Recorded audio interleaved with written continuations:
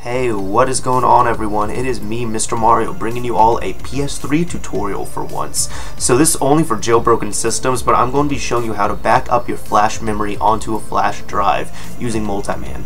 So first off, of course, you're going to need a jailbroken PS3, and you're going to need a copy of Multiman installed on your system.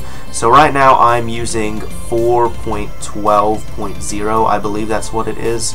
Today the new update came out for 4.13. But once you boot up Multiman, what you want to do is go over all the way to the left and you want to just open up your file manager MMOS. Now what you need to do is select any file, just anything like that, doesn't matter what it is, and select Open Hex Viewer. Now here, hit Select on your controller and then hit Start. Now for LV2, say no. For LV1, say no. And for Flash, say yes. Now once you hit that, you're going to need a flash drive and put it in your dev USB 0 slot, which is the slot furthest to the right on your PS3. And if that isn't it, then just keep trying USB slots until it works. So you're going to have either two or four USB slots. Once you have all that done, just go ahead and go through all the steps again, but back up your flash memory. Just wait about a minute or two, and it should be backed up.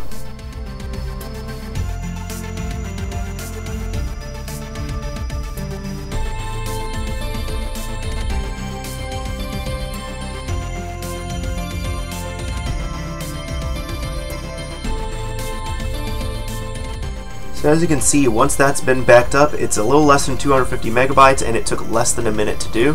So you hit OK for everything and now you can just exit out to your XMB if you want to or do whatever you want. You now have it backed up. Just be sure you take that file off your flash drive, back it up on your computer and keep it in a safe place for a situation hopefully you won't need it in. Anyways, this is Mr. Mario signing off. Thank you for watching everyone and I hope I helped you all out.